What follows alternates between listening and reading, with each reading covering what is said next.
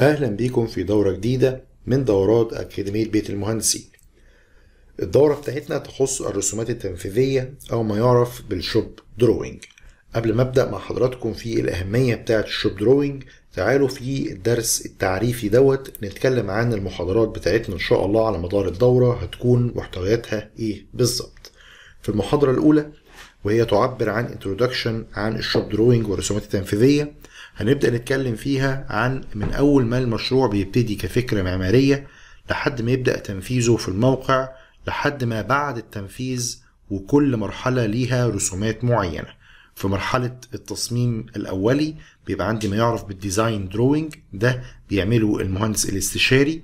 بعد كده التصميم بيروح لمقاول يعمل ما يعرف بال shop drawing وهنعرف هو إيه في الدروس القادمة إن شاء الله. وبعد كده بنبدأ نعمل مرحلة تالتة من الرسومات بتعرف بال as-built drawing وهي الرسومات اللي بتتعمل بعد التنفيذ بتاع المبنى أو بتاع ال systems المختلفة اللي في المبنى. المحاضرة التانية بنبدأ نتكلم عن ال fire fighting shop drawing system بشيء من التفصيل. تليه المحاضرة الثالثة بنتكلم عن أنظمة الصرف وال drainage يليه المحاضرة الرابعة بنتكلم عن أنظمة ال water supply والمحاضرة الخامسة بنتكلم عن أنظمة ال HVAC كل جزء من المحاضرات دي بنتكلم في كيفية تنفيذ أو كيفية عمل وإعداد الرسومات التنفيذية ال shop drawing خد بال حضرتك إن الدورة بتخص مهندسي ال electromechanical بشكل عام وتخص طبعا مهندسي ال mechanical systems بشكل خاص. ايا ما كان تخصص حضرتك هل حضرتك مهندس ميكانيكا شغال في نظام مكافحة الحريق أو مهندس ميكانيكا شغال في ال fire fighting أو في ال water supply system أو في ال drainage أو في ال medical gases أو في ال HVAC فايا ما كان التخصص ده لو حضرتك ناوي أو شغال أو هتشتغل في إعداد الرسومات التنفيذية فلازم تبقى عارف الأنظمة الأخرى بيتعمل ال shop drawing برضو بتاعها إزاي. لأن زي ما حضرتك شايف الكلمة اللي أنا بكتبها هنا دي coordinated systems يعني أنت الأنظمة نفسها بيتعمل لها coordination مع بعض. عندي خط مية عندي خط مكافحة حريق عندي ضغط تكييف عندي كابلات كهرباء عندي مواسير medical gases فالأنظمة دي كلها لازم بيتعمل ليها coordination أو تنسيق بينها وبين بعض. وهي دي الأهمية بتاعة دورة ال shop drawing أو الرسومات التنفيذية. إن حضرتك تبقى عارف الرسومات اللي هتجيلك من المهندس الاستشاري اللي هي ال design drawing دي إزاي أقدر أعمل عليها التفاصيل اللازمة للتنفيذ. لأن أنا لما بعمل shop drawing فأنا بحول الرسومات الخاصة بالتصميم ال design drawing إلى رسومات قابلة للتنفيذ. فهنعرف إيه هي التفاصيل اللازمة لعمل ال coordination أو التنسيق بين الأنظمة المختلفة. والتعاليق والتثابيت بتاعة ال systems والتفاصيل اللي لازم أضيفها على ال design drawing دي عشان تتحول معايا إلى رسومات تنفيذية أو ما يعرف بال shop drawing يقدر أي مقاول يقدر من خلال الرسومات ال shop drawing دي ينفذ في الموقع. وطبعا معنى الكلام ده إن أنا هبقى على دراية لما يكون عندي false ceiling بالشكل ده أو سقف ساقط بالشكل ده إمتى أحط ال sprinkler هنا أو ال detector هنا أو ال lighting بالشكل ده أو ال grille بتاعت ال HVAC أو ال speaker وخدمات ال light current المختلفة؟ لازم يبقى عندي المفهوم بتاع إيه أولويته عن إيه.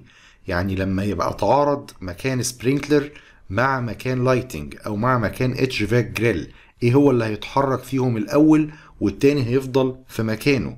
طب ده تحت السقف الساقط خلاص عرفنا الأولوية بتاعتنا تبقى عاملة إزاي؟ طبعا في الدروس الجاية.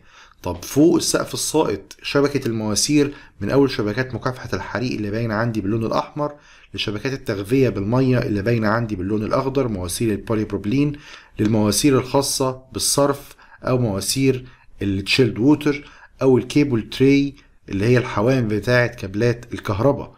ونفس الشكل هنا باين لي. طبعا دي مواسير chilled اللي هي باينة باللون الأسود مواسير black steel معزولة supply و return مواسير مكافحة حريق وكل system من دول ليه وسيلة التعليق بتاعته زي ما حضرتك شايف في الصورة.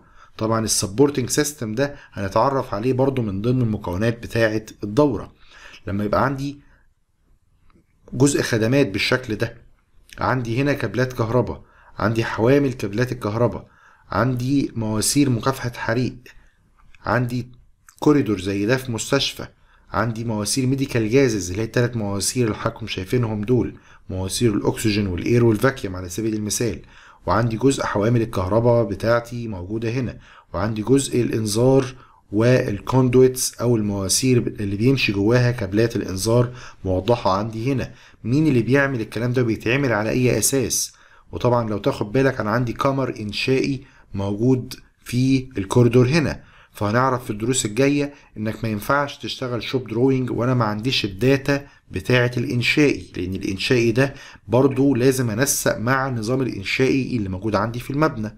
صورة أخرى موضحة عندك مواسير المية مواسير ال medical gases مواسير ال fire fighting طبعا التفاصيل بتاعة التنفيذ دي كلها من أول الارتفاع بتاع الماسورة للمكان التفصيلي بتاع كل ماسورة أو كل service من دي. أي مكان ال service دي بقى هي polypropylene water supply pipe ولا steel fire fighting pipe ولا copper medical gases pipe ولا كابلات كهرباء كل الكلام ده ما بيبقاش باين التفصيل بتاع المكان بتاعه في الرسومات التصميمية أو ال design drawing أنا بس بحط كده خط ماشي في الكوريدور بس الخط ده على مسافة قد إيه بالظبط من الحائط أو ارتفاع قد إيه بالظبط من الأرضية كل ده ما ينفعش يتعمل إلا من خلال ال shop drawing أو الرسومات التنفيذية وهو ده الأهمية بتاعته. طبعا مكان زي ده في صواعد مكافحة حريق مختلفة. تخيل حضرتك الصورة دي أو ال ال الغرفة دي.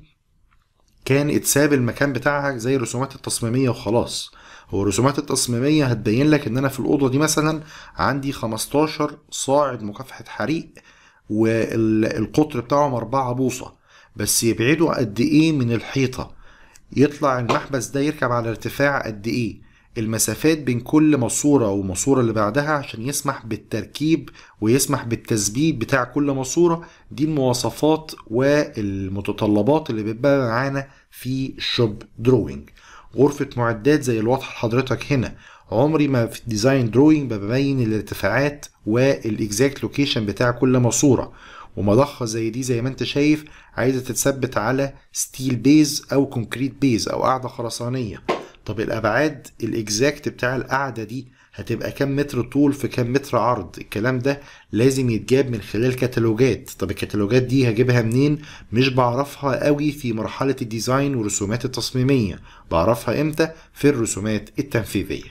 نفهم من الموضوع ده إن الرسومات التنفيذية عندي لازم يتم إعدادها وتقديمها عشان يصبح الرسومات التصميمية قابلة للتنفيذ في الموقع من خلال ال coordination أو التنسيق بين الأنظمة المختلفة وبعضها. بدون التنسيق بين الأنظمة وبعضها هيصبح عندي الموقع لو اتنفذ من خلال الرسومات التنفيذية التصميمية آسف مجرد فوضى لأن أنا كمقاول داخل أنفذ كابلات الكهرباء أو مقاول بنفذ الجزء بتاع شبكة مكافحة الحريق مش هبقى عارف أنا هبقى على ارتفاع أو على مسافة قد إيه من الحائط. فأي حد هيعمل أي حاجة في أي مكان فهيصبح الرسومات التصميمية عندي سببت فوضى في الموقع.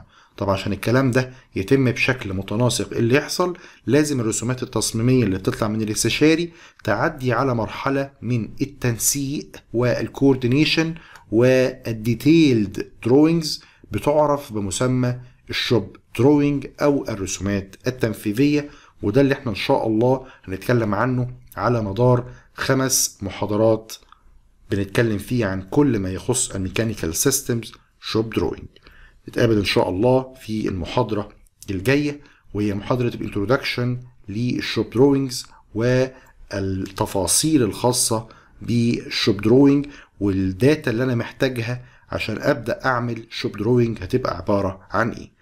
once إن إحنا خلصنا المحاضرة الأولى وال introduction اللي هي عبارة عن أربع دروس هنبدأ إن شاء الله نتكلم في محاضرات منفصلة عن كل system بشكل مفصل.